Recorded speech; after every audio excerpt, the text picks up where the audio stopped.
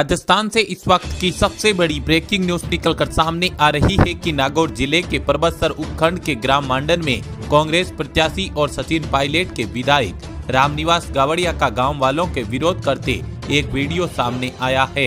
Video में आगे बढ़ने से पहले वीडियो को लाइक चैनल को सब्सक्राइब ज़रूर कीजिएगा।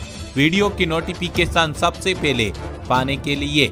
जानकारी के अनुसार कांग्रेस प्रत्याशी रामनिवास गावड़िया का मांडन बड़ू हरनावा भादवा सहित आसपास के इलाकों में समर्थन लेने के लिए जनसंपर्क कार्यक्रम था। परबसर से निकलते ही ग्राम मांडन में एक मोहल्ले में रामनिवास गावड़िया का जेसीबी से स्वागत किया गया। इसका वीडियो रामनिवास गावड़िया के समर्थकों ने सोशल मीडिया पर खूब शेयर किया। इसके कुछ समय बाद ही एक दूसरा वीडियो सामने आया, जिसमें मांडन ग्राम के ही दूसरे मोहल्ले में अपनी विभिन्न समस्याओं को लेकर जमकर ग्रामीणों ने नारेबाजी कर विरोध जताया।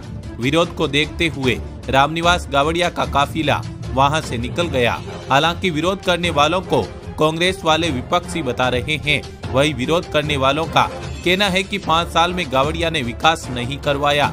हर बार अनदेखी की थी।